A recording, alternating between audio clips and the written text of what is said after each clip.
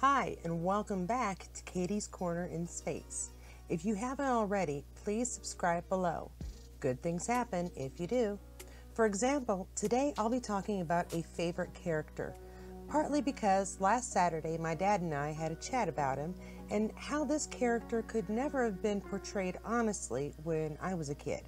Heck, even a decade ago, it would have been risky. But on screen, we get an accurate rendering of John Grey through the exceedingly attractive actor David Berry. He's just pretty. This Lord John appreciation video is dedicated to my dad and those of you who were passionate in your love of John Grey as a father who I did not mention in my Father's Day video much. Not because he isn't a good father to William, but because that video was about those truly fearful moments, and we just haven't gotten there on screen. I mean, there was that time John was ill on the ridge, but I think there was really more fear he'd not pull through. William was well away with no symptoms. Anyway, on screen, I just didn't feel there was enough material, which is what I do try to stick to. While Frank has been a scared and controlling jackass for quite some time, we got quite a bit about his relationship with Bree on screen, which quite frankly gave me more material to work with. And now, on to Lord John. When we first meet this teenager, he's attempting to kill Jamie. That plan, however, backfired on him and he's soon captured. As he's interrogated, he then attempts to save Claire from, of all people, her own husband. But he's nothing more than a blip in the story after giving up the details he knew of the British Army. A bit of comedic relief, if anything, because of the circumstances. Between Claire's sideways glances at Jamie and John's proclamation of a debt of honor with Jamie's bow and a sideways grin, it was a lighter moment needed in all the drama of the episode. In the books, young John suffers a bit more, but he's left to be found by his fellow Englishmen, only slightly broken. And we don't meet him again until he is broken in another way. At Ardsmuir, in much the same way as Jamie, he is alone, having lost his love. Dead and not lost in time, but because of the heartache, he and Jamie meet each other both with broken hearts. This relationship, though under the most odd of circumstances, grows into one of tentative trust, first from necessity as Lord John needs Jamie's language expertise, and then through simple conversations concerning the prison, games of chess, and often food as they share a meal. And though for a moment John misreads the situation, his respect for Jamie grows as he knows him, even after an escape and a surrendering return. And when John gave Jamie his life despite Jamie's request to be taken, then gave him a possibility for a future, Lord John gained a true friend, Jamie as well, one he would lean on for years to come, despite their obvious opposing views politically. For as much as Jamie was a Scot who believed he and his people should live their lives by their traditions, John Grey was an Englishman who believed Scotland belonged to the crown and Jamie one of His Majesty's own. Jamie's path to freedom had been given through John's connections, so it should be no surprise he promised to visit and was true to his word. Playing chess and checking on Jamie's life progress soon became some of the more poignant scenes as time progressed. There was never any doubt John still carried a torch for our red haired hero, but in that torch burned a fierce loyalty which became all too obvious when he was asked to be father to a son Jamie had fathered but could never rightly lay claim to for fear of the boy William's future. As luck would have it, as the husband of William's aunt, who would be his mother as his had passed in childbirth. This would put him in the most convenient of positions to do just that. And so Lord John would say goodbye to his most precious of friends and take on the mantle of father to a child he could not help but love, if for no other reason than the boy was an extension of the man he would always love. This scene always kills me. Time passes and life changes, as it often does. Lord John's position changed and he found himself reassigned to, of all places, Jamaica. Quite by coincidence, Jamie shows up just as he does, and a reunion comes about with some slightly uncomfortable moments as Claire is introduced. In the books, Claire and John's initial meeting is quite different. I rather enjoyed the on screen version, especially the story of Jamie surrendering the sapphire John now wears. Caitríona plays uncomfortable but ladylike so well, and though little is said as Jamie and John catch up, Claire can see the men have a unique relationship. Once again, in the books, more is said, and Jamie and John will catch up properly, discussing William's progress, of course, but in both versions, their reunion is a happy one for the most part. And of course, his presence here was essential in ensuring Jamie was not taken into custody. And let's face it, this exchange is probably one of the top moments of the entire third season. Only just arrived, I've not yet had the opportunity. Lieutenant, Captain, do you mean to say you have neither warrant nor affidavit to support your claim? Surely you do not mean to arrest a British subject on nothing more than the scurrilous gossip of the lower deck. Your authority ends at the water's edge, which is precisely where my authority begins. And until such time as I am satisfied as to the validity of this alleged warrant, this man will retain his liberty. Your Excellency. Thank you, Lieutenant Leonard. In the fourth season, we get so many doses of Lord John, it feels like a treat. He, of course, comes to the ridge bringing Willie along with the bad case of measles as they both mourn the passing of Isobel, Lord John's wife, and the only mother Willie had ever known, his aunt.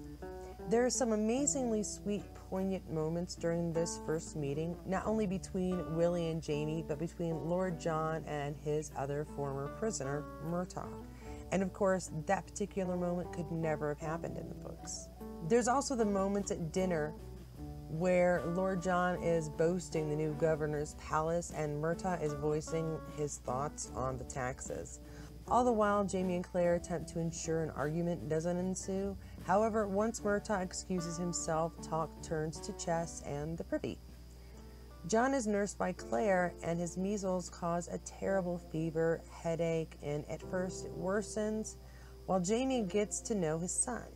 In this time, there is an obvious discomfort between Claire and John, but who wouldn't feel out of place being cared by the wife of the man you love? He admits his lingering love for Jamie to Claire. This exchange they have is fierce, yet entirely respectfully honest. John, as well as Claire, are visibly shaken as both admit they can't help who they are. They were each born that way. And now I submit if you are not tearing up by the end of this scene, you aren't quite human. By the time he's recovering, their relationship is friendlier. Much like his second meeting with Jamie, John finds he has something in common with Claire.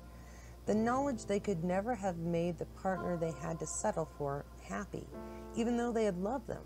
Frank could never have been to her what Jamie had been, and Isobel would never have been John's perfect match either. By the time John is recovered, he and William are ready to go. They have found a bond of respect and friendship.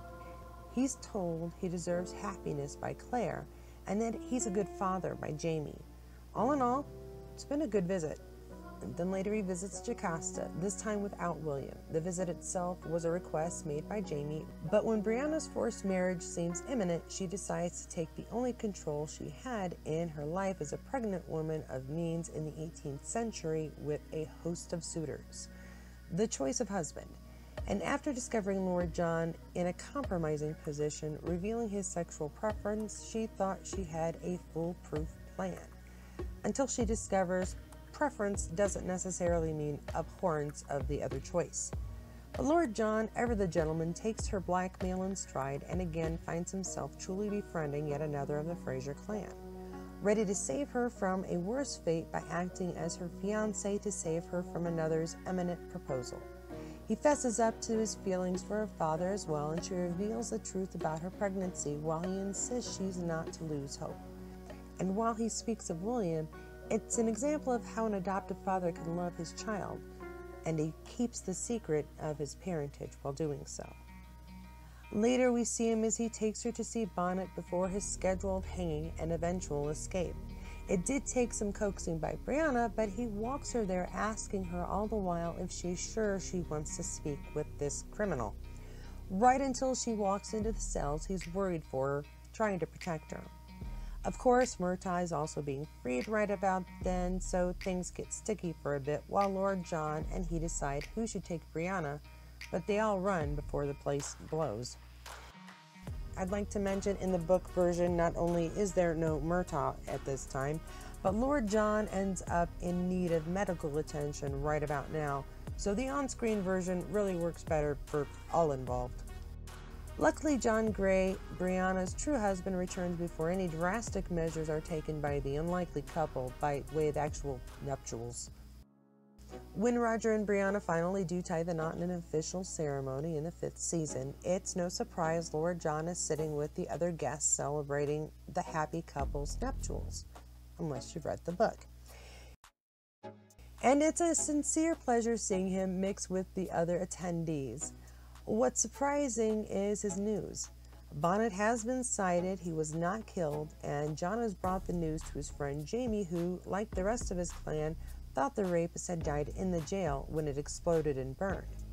I suppose two weddings and almost two funerals would be a good name for the fifth season when it comes to John because we see him again at Jocasta's wedding, though mostly to be single and fairly unwilling to mingle.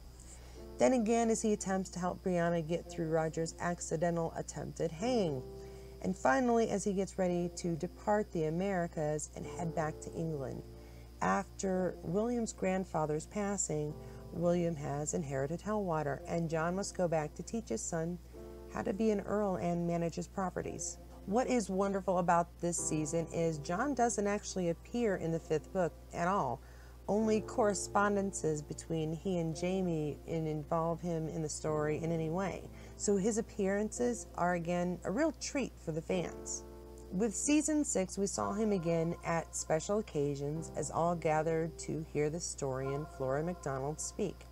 He'd been sent basically to ensure Jamie was still loyal to the crown, a fact Lord John was sure of. During this short season, fans were able to get tiny doses of the Lord as he reunited with the Frasers. He helped defend a printer one moment and had a heart to heart with Jamie in another. Their friendship notwithstanding, they were on opposing sides of the conflict to come. And while Jamie did have special knowledge of the events soon to transpire, John is a seasoned enough soldier to feel what is to come.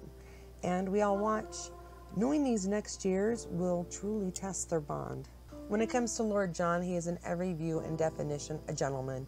His purpose and his guiding principles are widely evident in every decision he makes, both in the novels and on screen. From his willingness to put himself in harm's way for a woman he's never met, to raising a child for a man he'll never be as close to as he wishes he could be, to not taking advantage of the situation to have that want met. He's had the ability to do something so many fail at finding friendship in someone who, by all rights, should be an enemy. He is the best of men, and not even our hero can overshadow him as he is uniquely written and a striking character.